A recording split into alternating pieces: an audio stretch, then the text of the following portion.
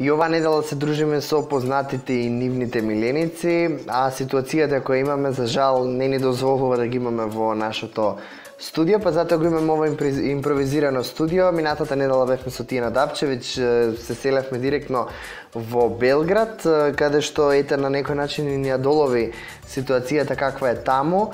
Меѓутоа овој пат ја имаме од својот дом и е, младата пејачка, добро позната за македонската публика, веќе докажана, А, кај нас Антонија Гиговска. Антонија, добро, добро ти утро, бидејќи се метуваме во, во 10 часот и 15 минути.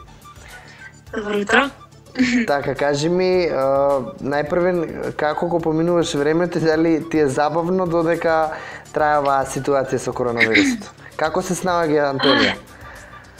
А, освен тоа што снимам лайф стоп и, и, и пробувам најмногу што можам да, да ги забавувам, ајде да кажам, моите следачи на Инстаграм. Mm -hmm. а, исто така се се забавувам со мојата куќа, со ти седам со Иван, со најблиските, нели со најблиските со колку нели можеме, не не смееме повеќе од да сме повеќе од пет луѓе, така да мислам дека ќе ќе мораме да да издржиме секако, мора да се издржи. Да, значи ги почитуваш препораките кои кои ги имаме да, да. апсолутно. Да, дефинитивно. Мора да се почитуваат за за се тоа нели да помине како што треба и, и да не трае толку долго колку што кажуваат дека може би ќе трае. Така, го спомна твоето милениче, токму тоа е главната причина во која си во, да. во нашата емисија. Ние предходно нешто преговаравме, ма ете, се случи оваа ситуација, па може би и позитивна работа да еве некако бидеме во твојот дом за минутка и да да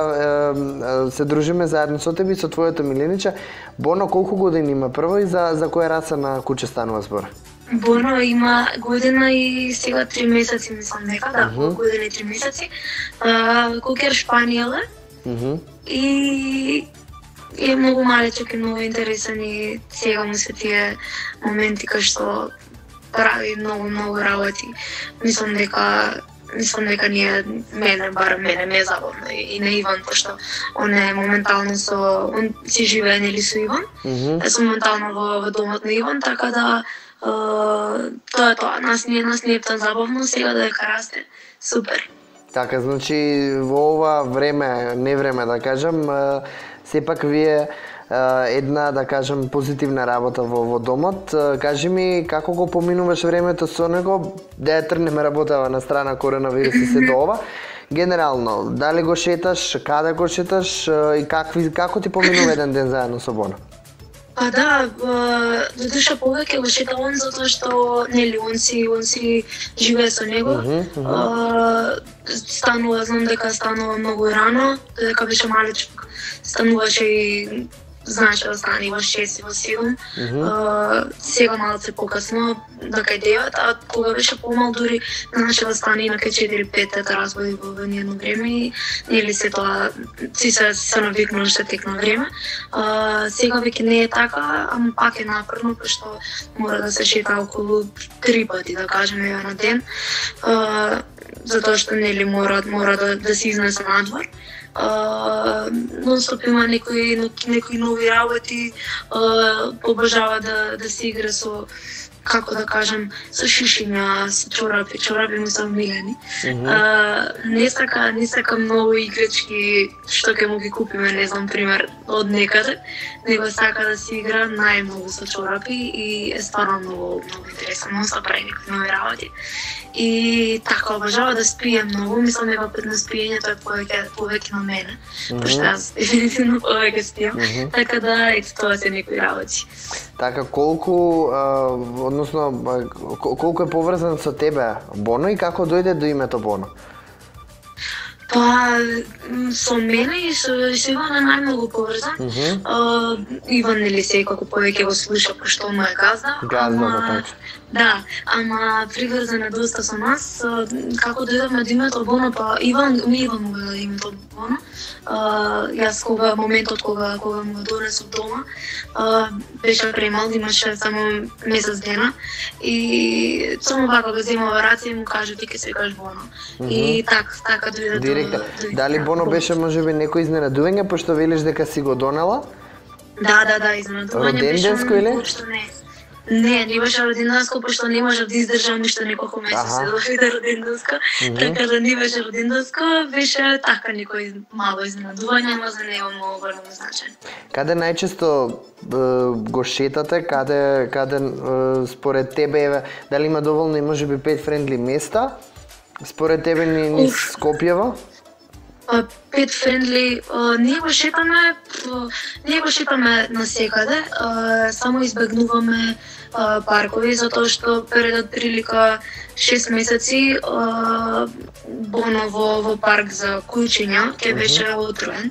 Mm -hmm. И Да, нешто прочитавме на на социјалните да. мрежи. Можеш ли кратко, да, иако тоа не е нешто позитивно, меѓутоа еве да на гледачите, добро е да спомнеме јавно бидејќи не гледа публика која се и активисти на за правата на животните, впрочем самата така емисија, еве да спомнеме како се случи тоа и како на крај разврска беше на целата таа ситуација? Па, како се случи, ние го шетавме во, во Тафталиќе, можем mm -hmm. да, така да можеме да наречем Карпаш Тафталиќе. И а, го шетавме, тоест го однесовме во паркот Карише Бера Тафталиќе. Mm -hmm. знам дека во тој парк си си одат и многу други кучиња. Се случи многу ненајдено, така што он шеташе и кучена душка, нели, како секој куче mm -hmm. душка.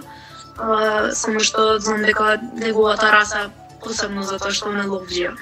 А, така, така се случи некако најдам он почна душка и одеднаш почна да, да му се кочи цела тело, да се тетерави и знам дека ветеринарот кажа да, да, да сме стигнале, да сме закаснеле 5 минути, дека кучето... Немало да биде спасено, така. Да. Ка, така да, мене ми е, мене ми е многу, многу криво и уште ми е несватливо зашто постат и зашто има потреба да постат такви луѓе, зашто има потреба тоа да го прават. Поготово во парк за кучине, што е парк за кучине, не е така. uh, некој обично место кој што шетаат луѓе. Тоа, тоа е доказ дека веројатно со со намера било тоа, нели бидејќи точно да, затоа е да, поставено во парк за кучине. Нормално, не, не го разбирам ништо тоа. Но како и да. Така, кажи ми како е со музиката и Боно, дали неко, некоја комбинација си имало до сега, ете да снимаш можеби песна во студио па да го имаш и него и дали можеби, еве како идеја можеби ќе ти дадам или можеби си размислувала Боно во иднина да го имаш и во некој спот твој. Да, имам имам размислувано за тоа баш во мојата нова песна Крива сум имаше mm -hmm. момент да избегам кокутре, сакав да да го да го има нега. Да, сака да го ставам во спорот, ама никако не се поклопи со основна идеја која што првично имавме, така да до сега не се случило да да биде во студио додека додека снимам некоја песна затоа што обично во студио сакам да сум сама и да сум изолирана, не можам да сум со било кој. А он веднаш што сум ја затворена негде или нешто се случува да он не може да влезе во таа просторија, он ма цвили и плача така да ако не му кажам дека морам да одам, он нема. Значи сепак се сака својата природа, односно на твојот дом и нормално надвор каде што да, да. се чувствува да. Ова. При крајот да. на, на нашето интервју, еве, да споделиме некоја интересна случка која би ја имала со, со Боно до сега. Уф, па секојдневно има некои интересни случаи. Знам дека а, денес го, го изнесовме во двор и а, имаше нели снег. Uh -huh премногу му беше чудно и дури не знаеше како да се понаша со, со снегото, mm -hmm. нека почна да се плаши малце. А, друго интересна случка, па нон-стоп, нон-стоп се случува нешто, само знам дека дека Иван веќе нема чорапи за облакање од него. И дека, да, и дека чорапите обично се расфрлани ради него или чорапи немаме ради него. Mm -hmm. Така да, ево. Да, еве на самиот крај да го видиме Бона он спие, он секогаш спие, он нема нема некое место на кое што нема заспано и еве за тоа, за тоа ви ви напоменав за тоа брзо. Може уште само еднаш да го да го видиме за да еве да. Он без оглед дека ние разговараме моментално, тој мирно спие, веројатно веројатно има добар сон. Да, да, Боно. Еј.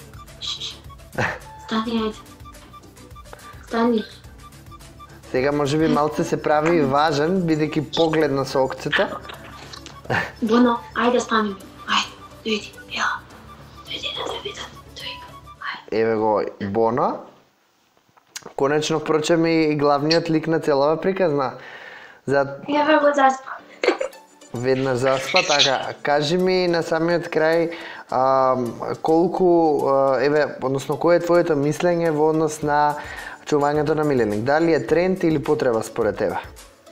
Уф, па нема потреба за, за љубов према нешто, нема потреба да биде тренд или не. А, како и да е, ако, ако човек сака да, да, да прави нешто или нешто што, што сака едноставно, што му е љубов, ке, ке го има без разлика дали е тоа домашно милениче или нешто друго. И јас имам имам видено многу многу случаи каде што луѓето едноставно не е дека не сакаат куче или дека дека едноставно не сакаат да го имат во во, во неговиот дом или во во било кој дом, така да Uh, нема што тука, јас мислам дека нема потреба да е тренд uh, куча или сакаш да чуваш или не сакаш, јас од секогаш сум сакала кучиња и никогаш не сум имала страв, знам како да им придам, знам како да се однесам со нив, мора да мора сепак да влезеш во, во нивната природа и да почнеш да се однесуваш баш како они што се однесуваат. Така да, тоа е тоа. Кажи ми дали минатата недела имавме интервју со, со Тијана од Белград, Дапчевиќ, е, која има и Инстаграм е, за својот баџа, односно незиното милениче. Да. Дали размислуваш или може би има веќе, меѓутоа ние не Има, знаеме. има. Има? Како е подпишан? Има, Еве ќе да. го споделиме да да може. Да, подпишана е подпишана Bona до Кокер. Uh, мислам дека е споено Bono со две О до Кокер. Така. Uh, сега мислам дека преска објавив нова слика. Uh, јас му го водам профилот и да, нормално дека ќе има како. Има доволно следбеници или? Он има, да, он Се, има, мгм. сигурно има, сигурно има на ден по, не знам, по, ајде да кажем 40 следачи, така да веќе има околу 300 или 200 и нешто. Па за, followers. за Милиниче Да, е Да, да, да. животно Да, како да, животно. има, има, има. Сигурни сме дека од тие 300 дефинитивно сите се љубители на животни. Барем тоа го знаеме. Да, да, да, па сигурно, сигурно. што што му го Сигурно. следат. Ништо јас ќе ти се заблагодарам многу, те оставаме да си живееш со со Боново неделното попладне веќе, односно бидејќи сме веќе 10 и е, скоро 11 часот. Јас ќе ти се заблагодарам уште еднаш и здравје Боже, те очекуваме можеби на прошетка во парк да помине оваа ситуација заедно со со Боно. Така, чувајте се и поздрав до вашите гледачи. Ти благодарам многу. Чао! Убав викенд.